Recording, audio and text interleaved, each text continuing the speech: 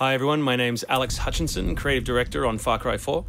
I'm uh, Mark Thompson. I'm the narrative director on Far Cry 4. Nice to meet you. Nice to meet you as well, and welcome to Kyrat, our, our, our new fictional location. So in Far Cry 4, you step into the shoes of Ajay Ghale, who is returning to the country of his birth, uh, uh, initially just to scatter his mother's ashes before he gets caught up in what's essentially a civil war. Kyrat is, uh, is a fictional uh, place uh, based somewhere in the Himalayas, uh, inspired by places like Nepal and Bhutan um, and a bunch of countries from that part of the world.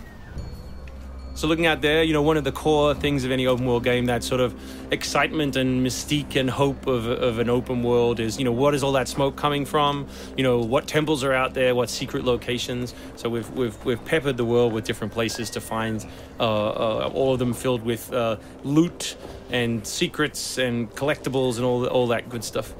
And of course, the, the open world of Far Cry is densely populated with uh, a variety of different animals. Beasts, and also that's some kind of yak. I don't even know what that animal was.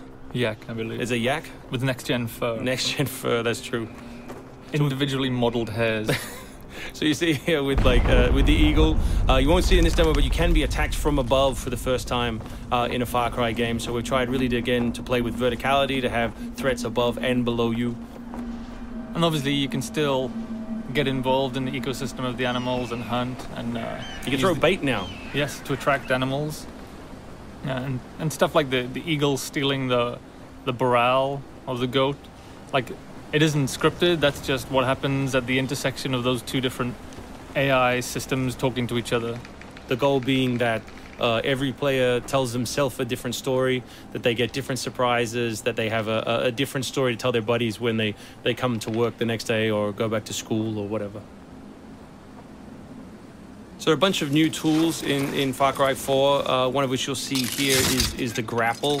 Um, we wanted to make something that allowed you to, to, to clamber over those uh, annoying cliffs you sometimes came across in Far Cry 3, and something that would also uh, lean into the much more vertical, much more uh, uh, sort of uh, mountainous regions we were building in this game.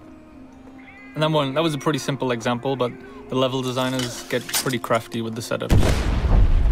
We have these areas we're calling adventure zones uh, in the new game, which uh, will take you to places like temples, which you can see from afar, uh, and force you to use the grapple in sort of really interesting and uh, uh, different ways.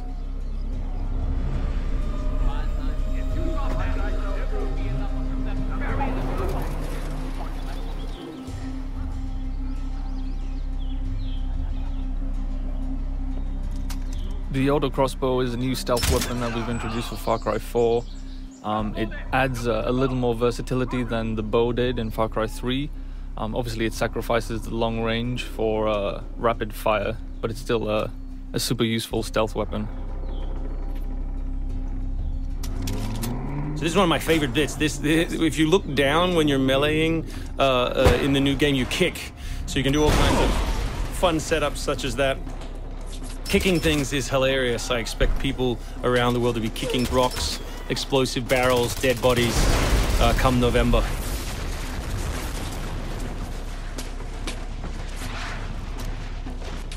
Our goal really was just to provide as many tools as possible, whether vehicles or animals or, or weapons or you know goofy stuff, and let people fit them together uh, any way they want. Yeah, and we've we've snuck a few features in that fans of Far Cry 3 I think are going to be surprised by. Drive and shoot.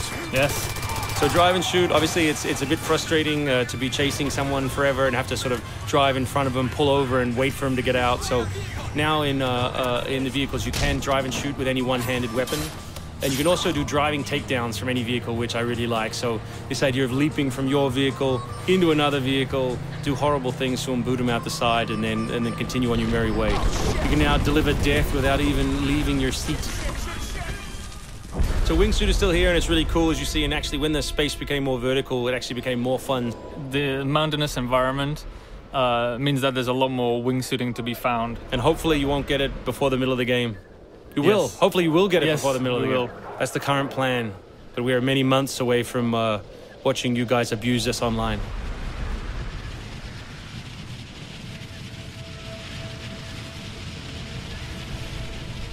So here you'll get a look uh, uh, at, at elephants Elephants are, are, are awesome. Probably my favorite animal in the game. Weaponized in many different ways. You can drive them into a rage, watch them smash the other characters in the world, or you can clamber on top of one and drive it through the gate yourself. My favorite animal is is the human animal. It's very Far Cry 2 of you, Mark. Oh, it's the shark of darkness. So co-op is a is a massive part of the new game. Uh, it's it's uh, uh, one of our big ways of opening up the open world and letting you play any way you want.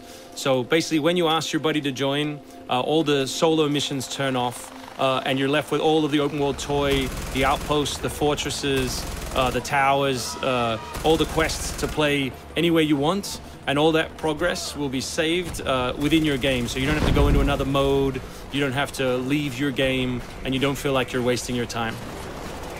All right, let's do this. What do you think of the Buzzer, Mark, which is a small uh, one-man helicopter? It's very red. No, but it's it's cool because it gives like this almost like developer perspective on the world. Like you normally in Far Cry 3, you could never really see an outpost, or you couldn't engage with an outpost from this kind of vantage point, which is really cool.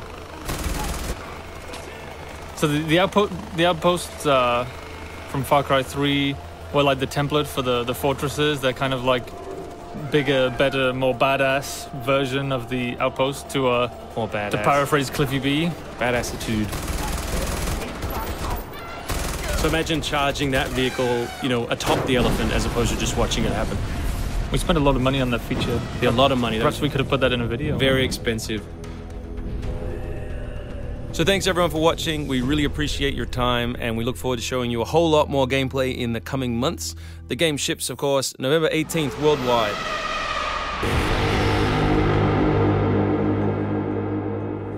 Pre-order now for a free upgrade to the limited edition. Includes three extra story missions and a bonus Impaler harpoon gun. Pre-order now Far Cry 4. Available November 18th, 2014.